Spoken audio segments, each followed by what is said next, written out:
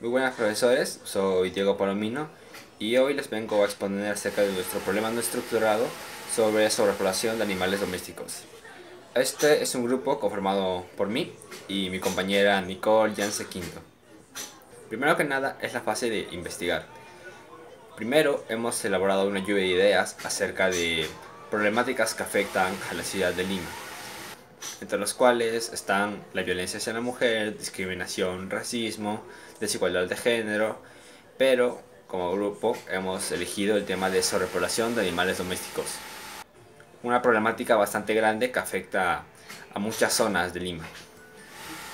Hemos tenido que realizar un mapa mental para destacar los puntos clave dentro de nuestra problemática, entre las cuales se encuentra la problemática como tal, causas que la generan, espacios afectados, posibles soluciones y al público al que queremos llegar.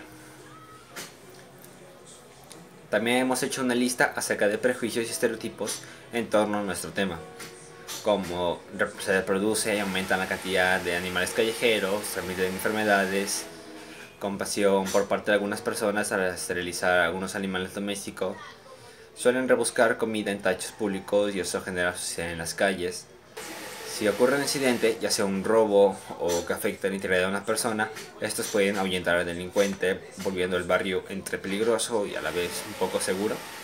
También hemos desarrollado un árbol de problemas,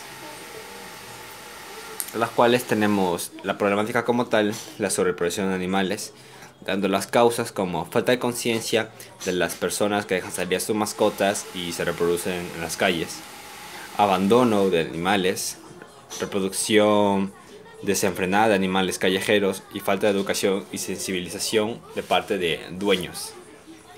Dando esto como efectos la sobrepoblación de estos animales domésticos por las calles sin un hogar y sin control alguno acerca de sus actos. Una transmisión de enfermedades de estos mismos que también se puede dar hacia personas o transeúntes que anden por las calles y sean afectados por estos animales y espacios públicos afectados por estos animales callejeros. Hemos desarrollado un mapa de actores entre los cuales hemos colocado a quienes contribuyen a esta problemática, dando en un caso externo a personas que solo piensan en su crecimiento monetario tratando de hacer campañas falsas, medios de comunicación que no informan adecuadamente sobre que hay acerca de la problemática o que hay una manera para contrarrestarla y albergues con falta de publicidad. Dentro de los más cercanos a la problemática están los hijos y padres de familia que no fueron muy responsables con su mascota, dueños irresponsables, rescatistas que no tienen todos los recursos como para evitar que esos animales se reproduzcan o sigan en las calles.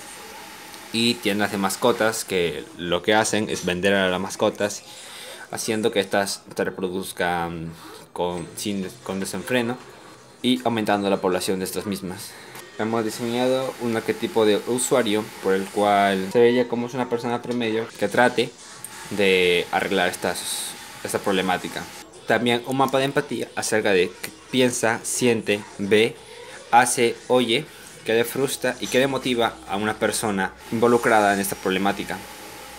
También hemos desarrollado una encuesta hacia un público que tienen mascotas o piensan tener mascotas para que estén un poco más actualizados con la situación. Dado como resultado la intervención urbana con tema de sobrepoblación de animales domésticos. El lugar por medio de la encuesta se dará en un sábado en Campo de Marte entre las 10 am a 12 pm. Horario que también es factible para aquellos que tengan mascotas y puedan sacarlas a pasear. También se dio una lista de insights, sacando la idea del tema 7 en conseguir una crianza óptima para darle una buena calidad de vida a nuestras mascotas. El ítem 9, cambiar el estilo de vida de los dueños para mejorar la convivencia y el entorno que los rodea, para tener un área más placentera. Y el ítem 10, la necesidad de una campaña para tener un mejor conocimiento con respecto al cuidado de nuestros compañeros de vida, nuestras mascotas, y también aquello que no poseen un humano, con tal de que ya no se sigan reproduciendo. Ahora pasamos a la fase de idear. Para esto hemos desarrollado un embudo para encontrar el concepto.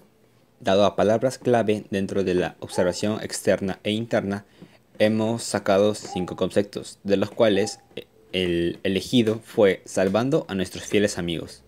La fase de desarrollar. Como resultado de la encuesta, el lugar elegido para la intervención urbana será Campo de Marte. Hemos tenido que realizar como grupo dos bocetos cada uno. Voy a pasar a explicar la idea de mis bocetos. En la idea 1 de nuestros fieles amigos, se trataba de una intervención urbana que consistiría en una reunión para aquellos que tengan mascotas para recibir información acerca de campañas que se pueden hacer sobre esterilización, cuidado de mascotas, alimentación adecuada, etc. Dentro de las actividades se dará que por miembros calificados que tengan conocimiento acerca de la situación actual de los animales puedan informar a aquellos dueños que todavía no conocen demasiado sobre el tema el cuidado adecuado para sus mascotas, venta de juguetes y alimentos comunes y especiales para mascotas que lo necesiten. Y un pequeño escenario donde se podrán hacer pequeños concursos y sorteos de paquetes de comida o cupones de descuento